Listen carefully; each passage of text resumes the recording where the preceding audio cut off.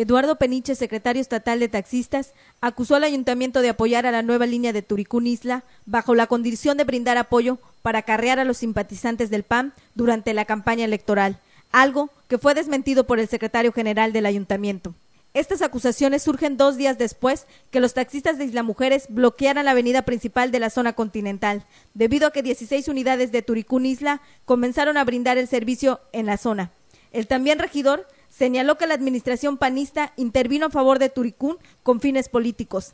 Ante estas acusaciones, el secretario general del ayuntamiento, Manuel García García, desmintió los hechos.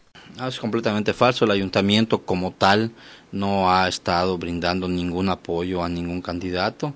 Eh, esas empresas son empresas que si bien es cierto prestan un servicio público, eh, el apoyar a cualquier candidato que le solicite este servicio, pues lo valorarán ellos en su momento, ¿no? Y tendrán que eh, ofertar el servicio como se lo ofertan a cualquier a cualquier eh, usuario del mismo, podría ser eh, de cualquier partido político. Como recordará, la concesión fue hecha en el 2001 cuando la administración estaba al frente de un priista, concesión que vence hasta el 2016. El ayuntamiento como tal no está haciendo esas solicitudes y en un momento dado eh, Turicum pues tendría la facultad de elegir a quien le da su servicio, ¿no?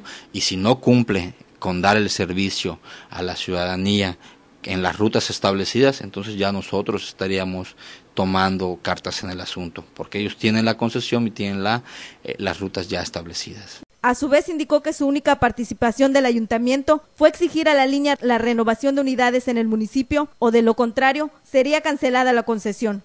Así es, eh, los términos de la concesión establece que las unidades, la, empresa concesionaria deberá renovar su flotilla de unidades eh, de manera constante. Eh, recordarán que hace unos tres meses empezamos a hacerle requerimientos a la empresa para que cumplan con esta eh, con esta disposición que se le impone en la concesión y ya a la fecha eh, hemos verificado que cuentan con unidades nuevas, que cuentan con las este, con las medidas de, de, seguridad y de calidad que, que se requieren para los usuarios. Con imágenes de Nadia Díaz, informó para Notivisión Suil Machen.